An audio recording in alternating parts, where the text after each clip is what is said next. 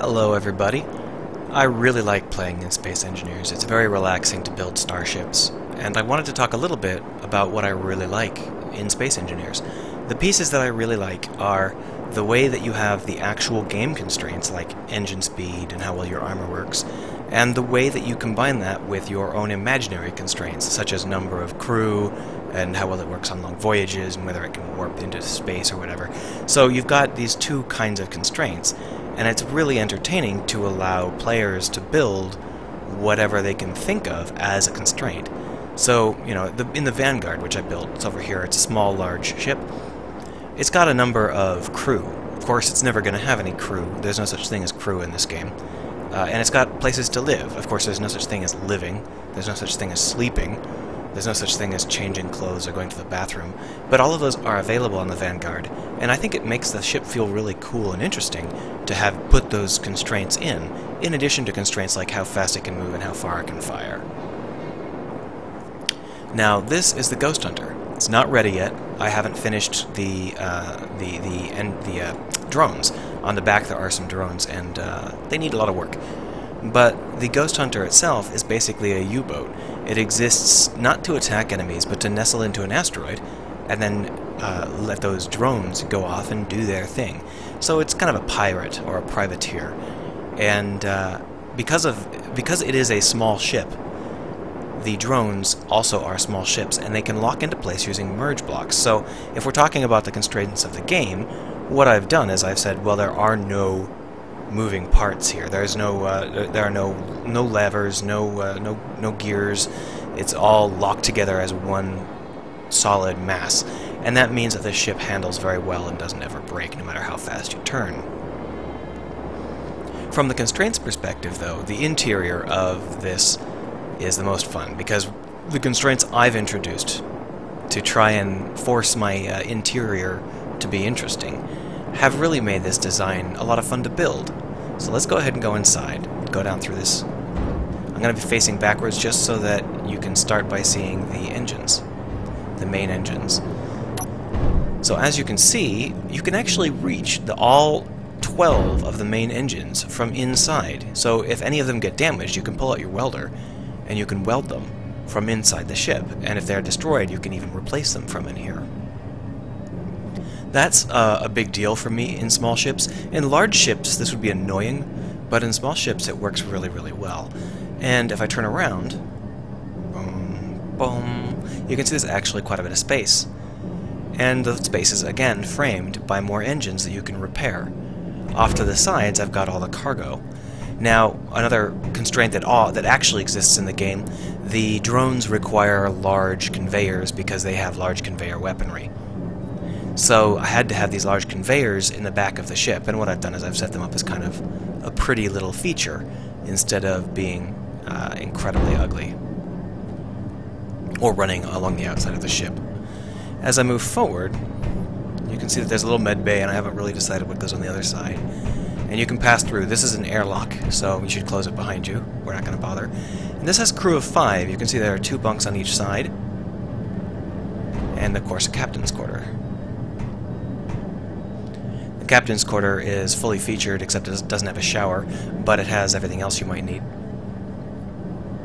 And I've even hooked up plumbing to the sink and the toilet, even though, of course, there's no reason for that to actually be the case in the game world. Um, but it was fun to build, and you can see the captain has a small but nice little cabin where he can look out onto the stars. Over here is a locker where you can change and uh, access the braking engine. So, uh, once again, you can access all eight of the braking engines from inside. And the double-paned glass again, looking out into space.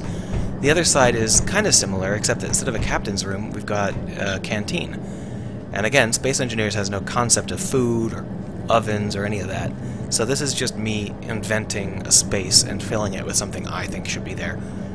And if we look in here, you can see there's a number of uh, features that look vaguely like stuff that might be in a kitchen.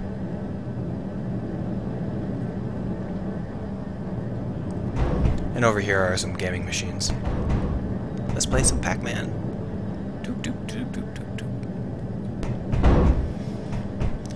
The crew is expected to share one shower, not at the same time, unless they're very friendly. But this is full function in that you can go in and you can close the door behind you. You can do whatever you need to in here. It's, it's, it's pretty cramped, but it's a small ship, what do you expect? And then here's the bathroom that the four crew members share. The captain has his own. You can access the main reactors from in here. There are only two main reactors. There are no small reactors or other large reactors on this ship. The drones have their own small reactors, but not very many of them. So this is the power that the ship gets, and it relies on battery banks managed by an AI to fill in the rest of the gaps. This is the still unfinished command area, and you can see that these are the AI uh, with their timers. The AI blocks here are not just for looks, these AI blocks actually do host AIs. Uh, right now I've got Freya, who manages the oxygen and the batteries, uh, and then I have um, Tyr, who draws the ship and monitors damage. I've got Ratatosk, who does all of the sound effects uh, and basically acts as the voice of the AIs. And I have Njord, who is still in development, but he handles all of the autopilots. Uh, and Njord's capability is especially important to the Ghost Hunter because it's really easy to accidentally send drones off uh, and then accidentally go further than the antenna range and lose the drone forever. Njord can actually detect when that happens and hit reverse, um, but I'm not ready to show that off yet. There are three chairs here because there are two drones and, of course, the ship itself. You can see that we've got Tyr drawing away in the corner. I'm thinking about some new drawing algorithms because this small ship is uh, really, really taking up a lot of that terminal's uh, capabilities. It's pushing the edge of, of maximum text amount. So, this ship is significantly smaller than the Vanguard, even though it has the same crew, but it's still a pretty big ship. If you compare it to that fighter, the blue fighter that I've put off to the side, you can see that the blue fighter could fit inside of the command area here. One of the other things you might notice is that this ship appears to be made entirely out of light armor. Um, and that is true, at least for the top side. This is not a ship that is intended to engage the enemy. It's intended to nestle up against an asteroid. Here's the thing, though. If it's nestling up against an asteroid, it's not going to be nestling right side up. It's going to be nestling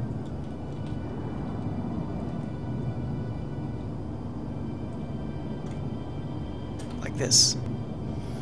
So if that large ship was our asteroid, this is what we would be doing. Because of that, it's actually this underside that's exposed, and the underside is just tremendous. Um, it is a lot of heavy armor, and it's actually a composite armor. And we're going to be discussing composite armor a lot, and we're going to be testing it, we're going to be firing things at it, it's going to be a lot of fun. Let's go have a look at our composite armor.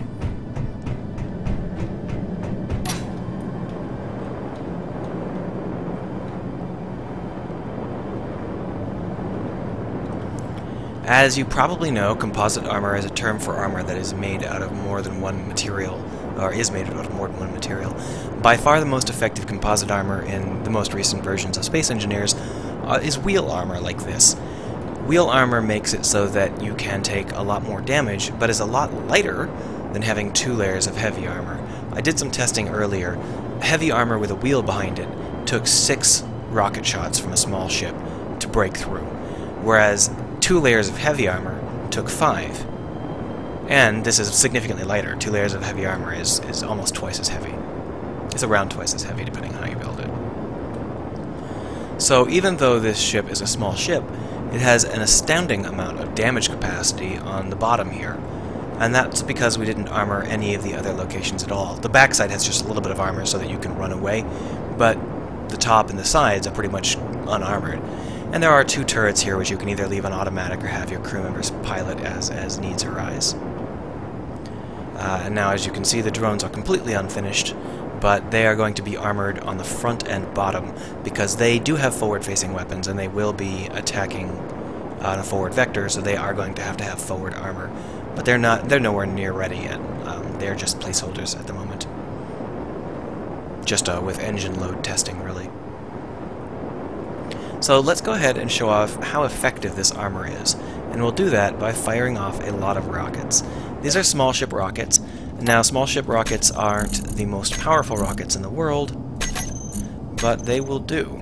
Um, so if we are going to do this, let's just go ahead and find a spot. Let's say right here.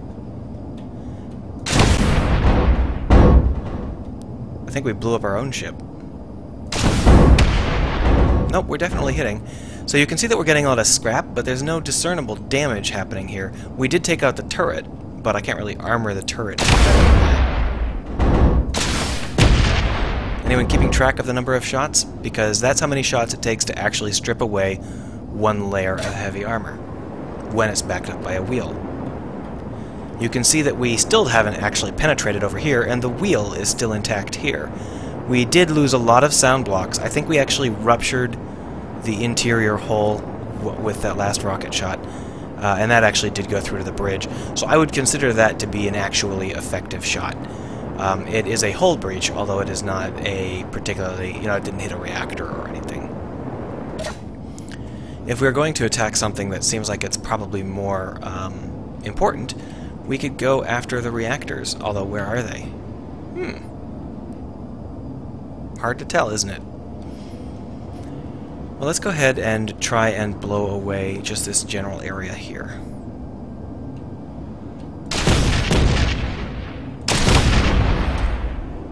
So the engines did get uh, hit, but they're not down. They're still running. So these are rockets, and I think most of you are probably familiar with how small ships normally react to rockets. I'll give you a hint. They die. So the fact that this ship can take 4, six, ten rockets before suffering any appreciable damage at all is, um, is pretty overpowered, and that's the power you can get out of using wheels as armor.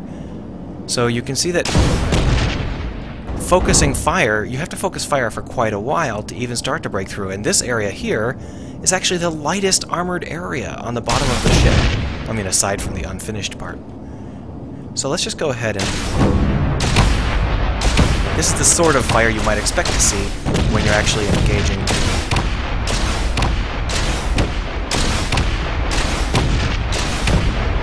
By the way, if Njord was turned on, he would have already started to speed away. So, let's just show you. This is like zero damage. We took some armor damage, but we haven't taken any appreciable interior damage at all. And I can show you that by actually going inside.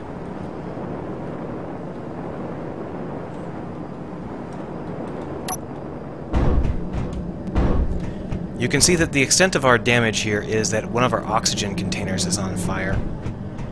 We have a couple of hull breaches, but because of the wheels being placed where they are, we actually have no damage to any of the components in here.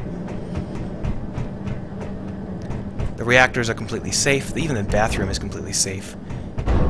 We did lose two of our AI cores, and that's actually bad. That's three of them.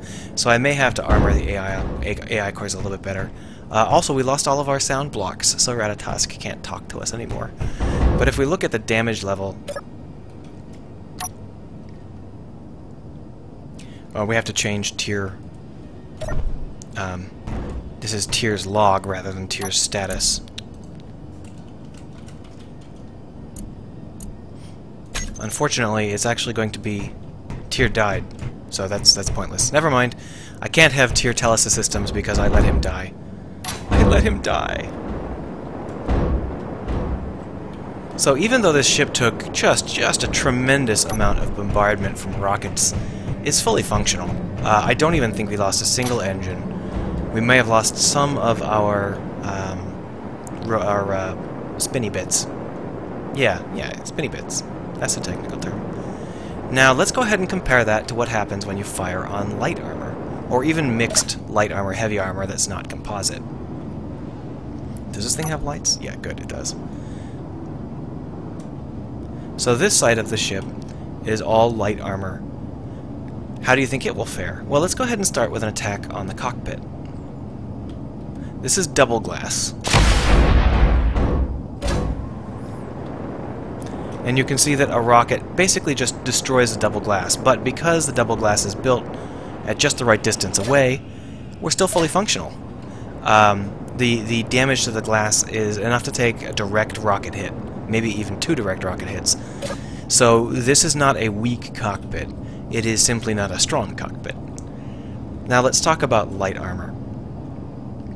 This light armor here is actually concealing a battery, so if we fire, you can see that we punched holes right through the light armor, and we also probably destroyed the battery within. Let's see if we can get a better angle on that. Oh, nope, the battery is still around. Yep. Now these are small ship rockets, so I mean small ship rockets aren't as strong as, as large ship rockets are, but you can see that we're taking just a huge, huge amount more damage. These are these are pot shots rather than the sustained fire I was doing. If I was going to do the sustained fire on the back here, watch.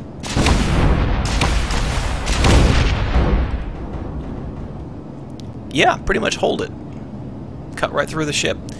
So, that's the difference between... Oop. the Vanguard's back there. That's the difference between uh, decent heavy armor and light armor. But even in some of these air... I think that I've damaged this ship beyond usability with that. That's obnoxious. I was going to go ahead and fire on the uh, on the on the parts of the ship that were just heavy armor, and now I can't show you that. They're not they're not a whole lot better. Um, rockets do just demolish these ships. Now, if you're thinking about how this fares against capital ship weaponry, it actually does remarkably well. The railguns, the heavy ship railguns, will do exactly as much damage as it takes to blow away the, he the heavy armor and the wheel, but they will do no damage to the interior at all. Well, until a second shot goes through. The heavy rockets are basically the same thing, except that it really depends on exactly how they hit as to whether or not the concussive blast might take out some interior uh, elements. It, it, it depends. But in the end, this heavy armor is really, really effective. So what I said earlier, it's a lot of fun to try and figure out the constraints of the game, to master the constraints of the game, and that's this heavy armor bit. Uh, I have figured out a good way to build heavy armor, I've made a ship that is remarkably durable, and uh, I also made a ship that has a role that has no purpose in the game. There will never be a use for a U-boat in Space Engineers. But despite that, it was a lot of fun to build this, it was a lot of fun to lay out the interior, uh, and a lot of fun to figure out how the people would live inside and how they would operate two drones and how you could lock two drones together into the rest of the ship. Um, as for the actual performance of the vessel, it is middling. Uh, it, it moves at a middling speed and it tilts at a middling rate. Uh, but it is backed up by a lot of really powerful assistance, AI assistance. So it actually performs pretty well when the heat is on. Uh, and a big part of that is the fact that it has very few reactors and a lot of batteries which is, I'm beginning to think, probably the best way to do things. Batteries are, are pretty light, uh, and you don't, you don't care if they get damaged. The only flaw with them is that you have to manage them. And if you've got Freya managing it for you, who cares? Well, shall we do a ram test? I think we might have enough power in our in our ship still. Yeah, we didn't lose any anything important. We still have all of our engines. Let's go ahead and do a ram test. Let's ram the uh, you know what? We should probably ram the other direction. Because this ship has no cockpit worth... Uh, the cockpit is completely undefended and already damaged. Let's go ahead and get into our... our larger vessel. Oh, I went the wrong way. This is the Vanguard. You can get it on the Steam Workshop if you'd like. You'll be able to get the... Uh, the Ghost Hunter as well when it's done, but I have to finish developing some of the AI programs it uses. I turned off the gravity in here because it was making my recording uh, standing at a tilt.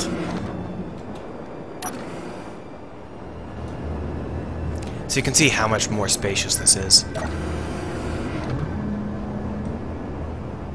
The AI uh, helpers on this ship are a lot more primitive. Alright, so there are a lot of things we can test out with this. For example, I can actually go ahead and fire on my ship and just show you how powerful these railguns are.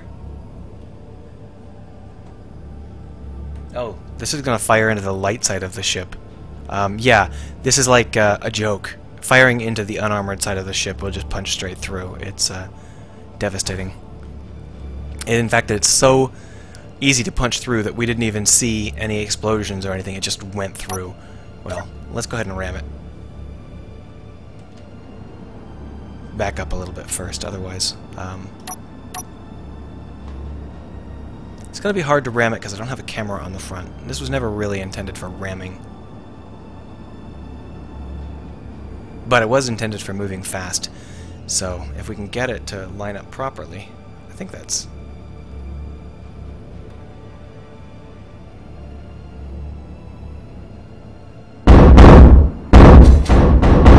Oh! I didn't expect that to actually uh, damage my ship this badly. So, don't use the Vanguard to ram people. Noted. Oh, wow. We have no frames left.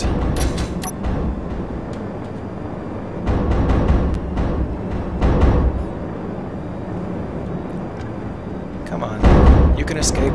Get out. Get out.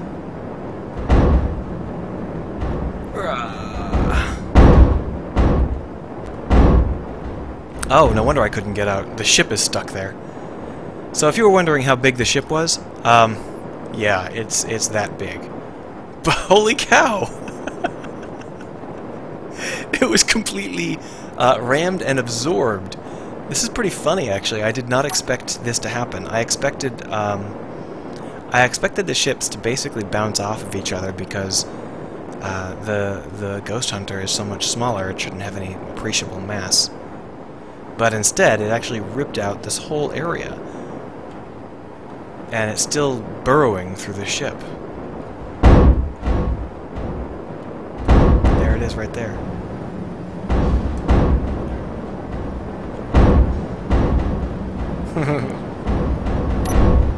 ah. Well, the gravity generator in the, uh, in the Ghost Hunter is still working.